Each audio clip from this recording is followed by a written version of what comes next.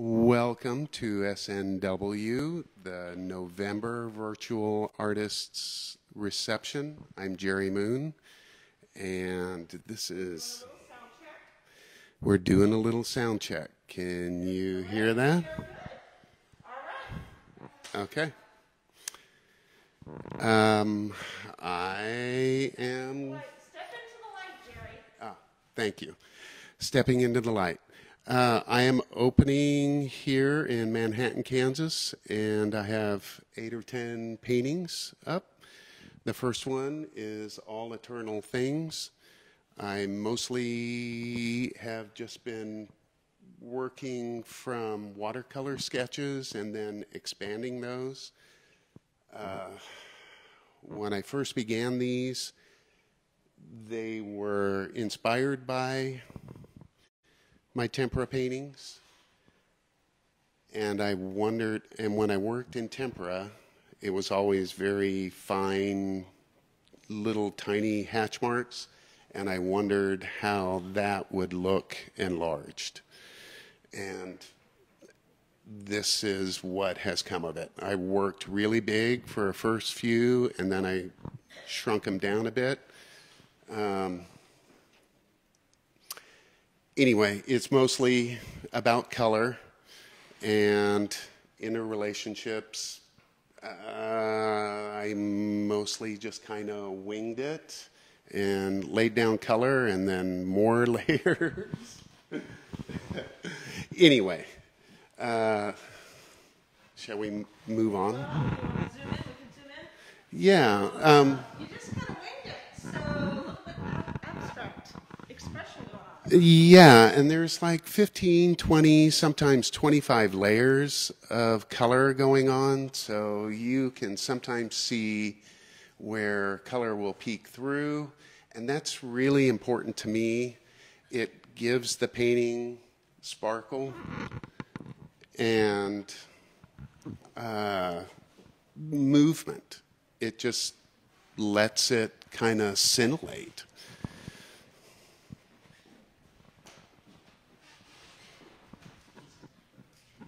Oh, okay. Um, the way Alan and Amy set up this batch of paintings, I love the way it's hung. It's um, it's nicely balanced. The colors are all working together. Um, Worked hard on it. yeah, it's it looks beautiful. Uh, I'm going to give Amy the credit. this one I started uh, a little bit after my grandson was born. Worked on it for uh, three months, and typically the way that I work on these paintings is I'll have eight or ten of them going at the same time, and uh, I'll lay down a color, I let it dry, pick up the next one, lay down a layer, let that dry, pick up the next one. So there's there's a little bit of detachment between each painting, but it also lets me get a little distance on it and kind of decide uh, where to go next. Um, with this one, I, it started out really green, and really the only green that's left now is here in the corners and underneath. You can see it. Uh, I ended up uh, gravitating more towards a tertiary color scheme, and that it really took me, and I just started building up on it. Um,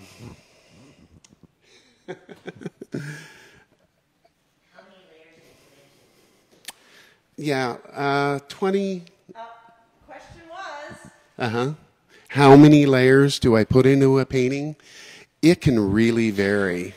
Um, I have some paintings that only have 10 or 15 layers. I have other paintings that might have 30, 35 layers. Uh, it's a very meditative process for me. Um, I like doing very uh, just slightly different color layers so that they kind of harmonize with each other. Uh, sometimes I'll go for a brighter contrast, like on this one, a lighter and darker blue. But underneath it all, there will be some unifying color, pink or orange, something that tends to contrast with the upper layers. Uh, but uh, my biggest concern most of the time is the transitions and the motion. Uh, kind of what I'm after is just kind. Uh, uh, it, it, should be active. It should draw you in. It and get you looking up close, and then stepping back. Uh, more of a meditative thing than anything else the color relationships are important, but what I'm really trying to capture is this uh, area of time that I spent on this. So it's a, it's a capturing capturing time over the long haul, not just a moment, but a whole range. I am not articulating this very well, but uh,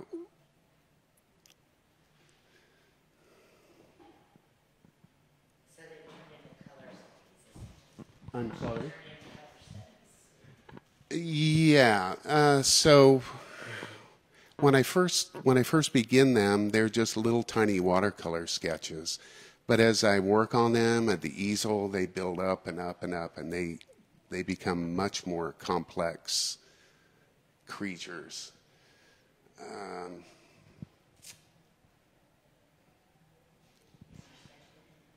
yeah, it's okay.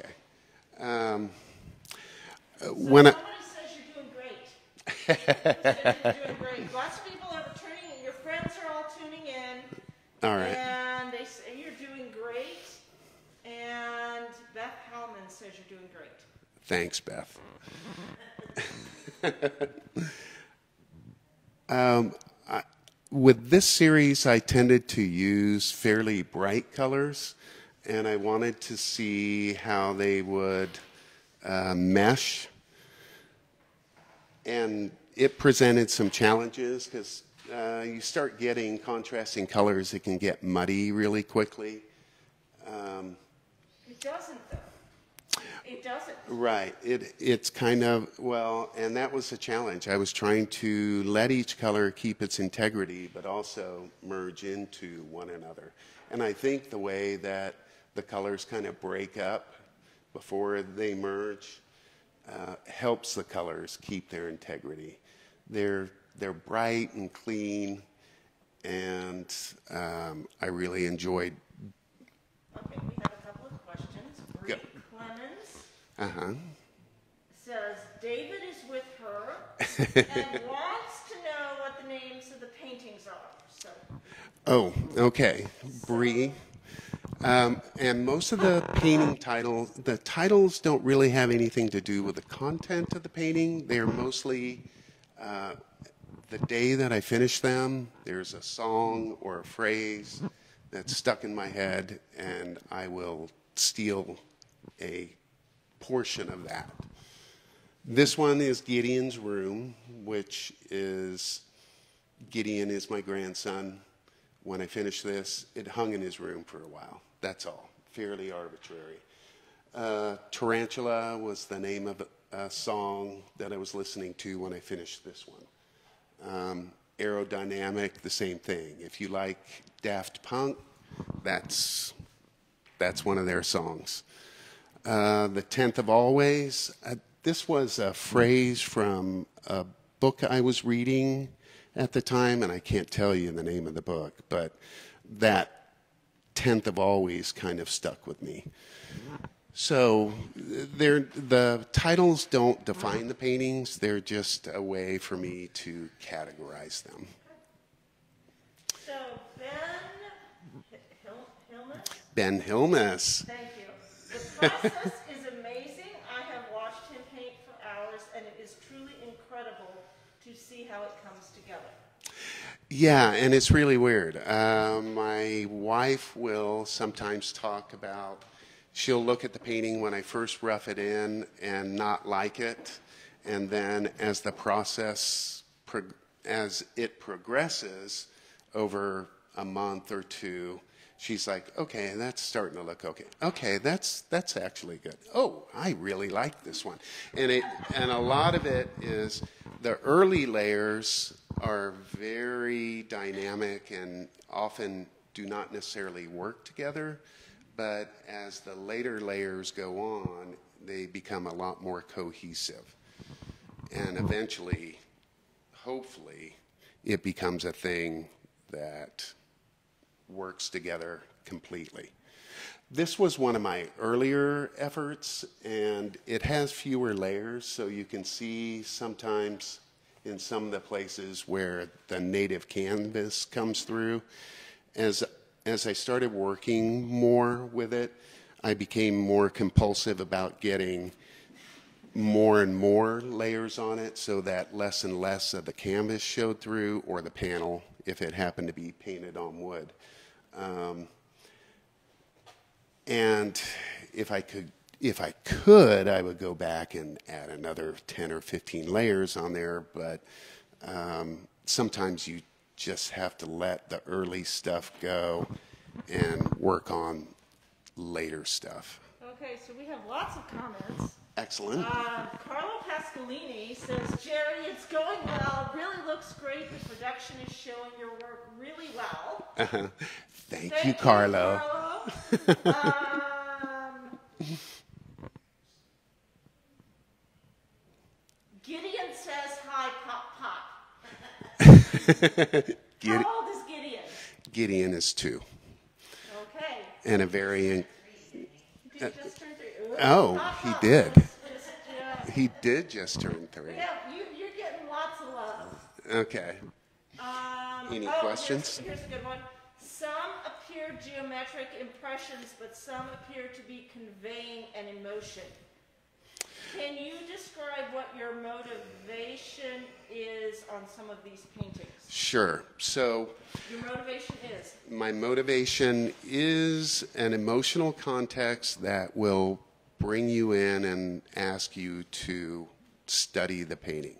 Not study, but think about it. It's it's more of uh, like watching a sunset go down. It's uh, something like that.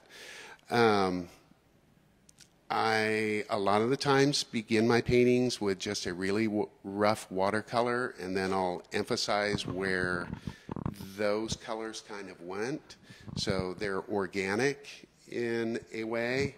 Um, I have later paintings where they're much more rigidly geometric, um, the, like Arrival over here.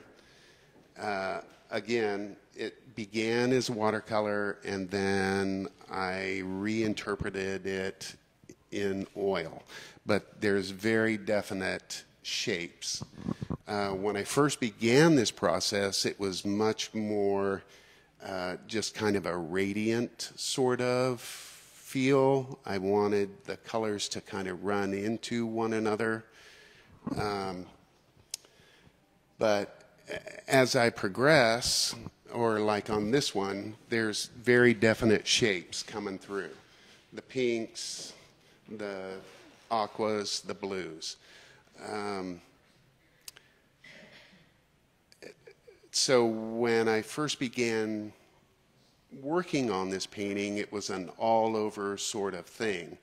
But uh, weeks into it, certain shapes would emerge, and I would just emphasize those.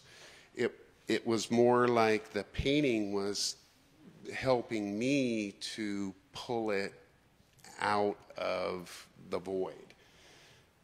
Uh, so it's not, I don't always have a perfect view of what the painting's going to look like when I first begin it. It kind of develops. Uh, I put color down, I walk away from it, I come back to it, I see something else coming out of that, and I'll emphasize that for the day.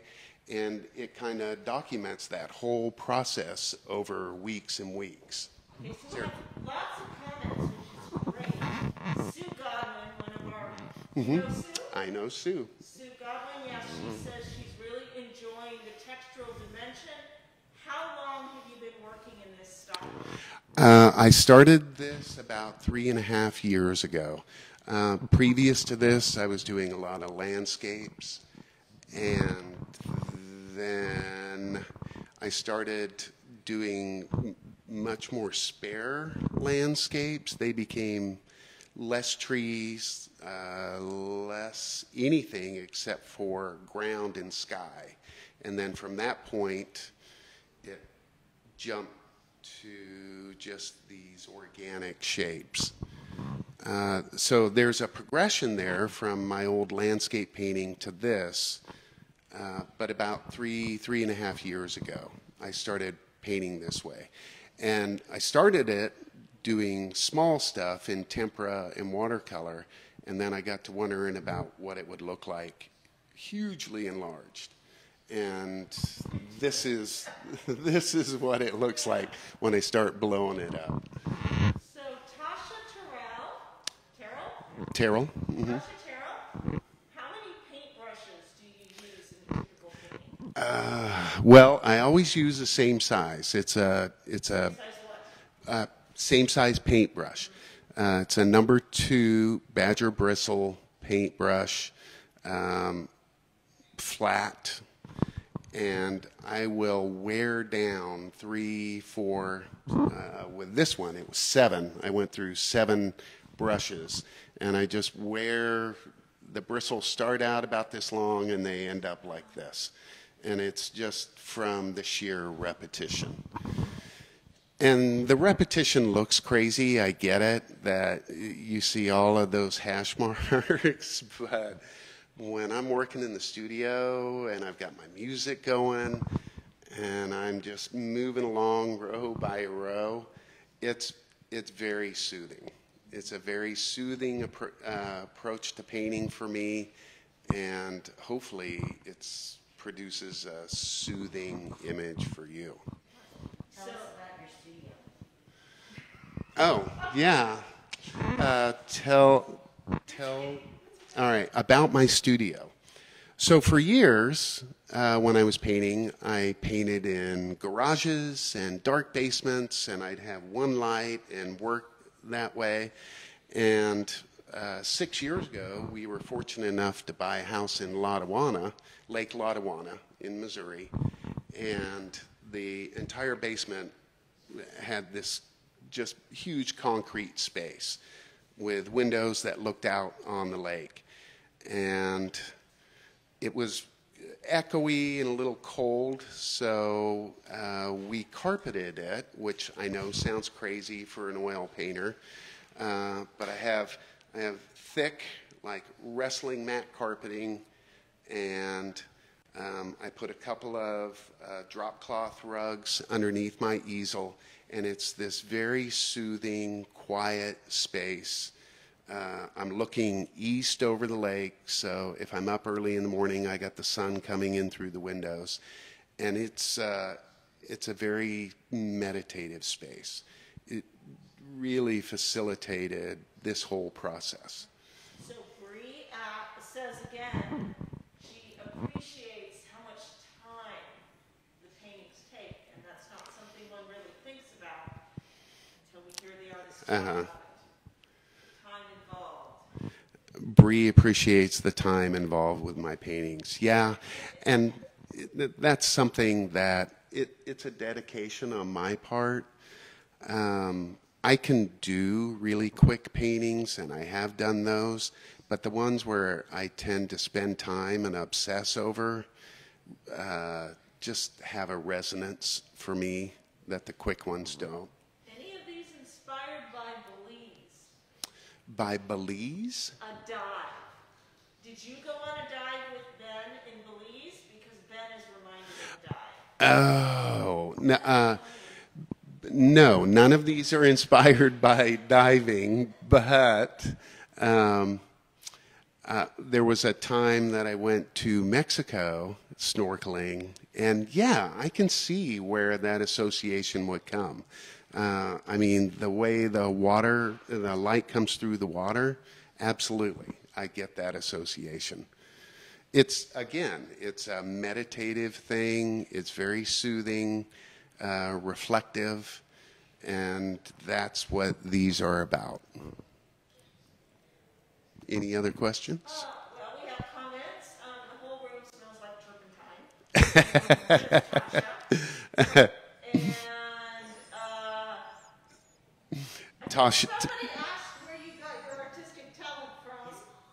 Oh, his mom.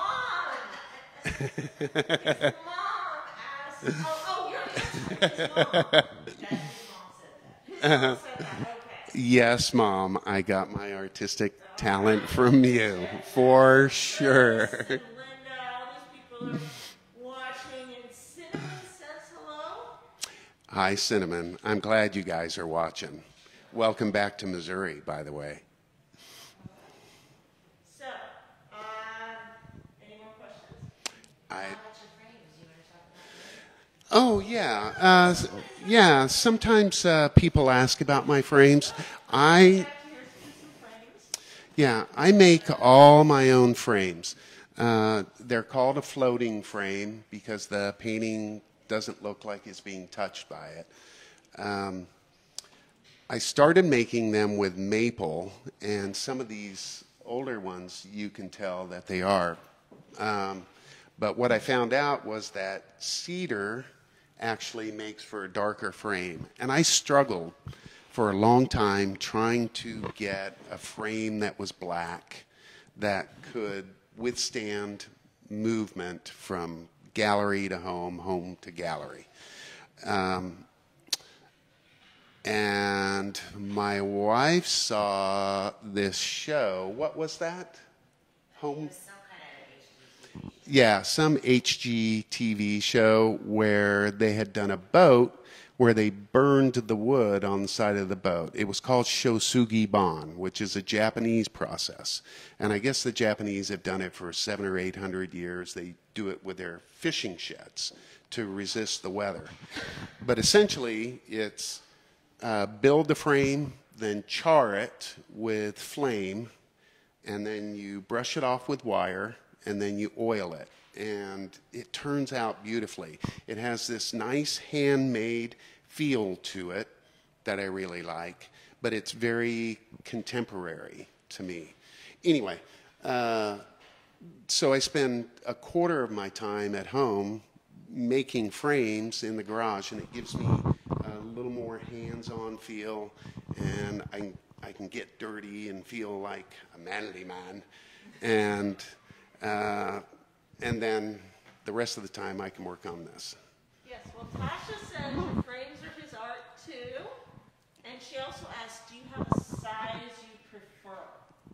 Yes, I really prefer a two foot by two foot painting. It's big enough to have presence in a gallery or presence in a home, uh, but small enough that I can move it around in my car or make a frame for it in my garage. When I start trying to make frames for four foot paintings or six foot paintings, it gets very difficult. So two foot by two foot. So, so I have a question. Do you prefer, we have panel and we have canvas. Uh, the question is panel or canvas, and I like panel better. Uh, canvas has some give when I'm working with this hatch mark, which can make it bounce, uh, and I don't always get the straightest line, whereas panel, uh, wooden panel just lets me, it doesn't give at all, and it shows exactly what I'm painting. There's no distortion whatsoever. But the pro- the drawback with panels is they are heavier. They are. I know that. From personal experience. Yes, especially when you start getting big. Yes, Yeah. they, they, yes. Um, all right. Well, I think, um, any more questions for Jerry? Anybody? Anybody? Anybody? Anybody?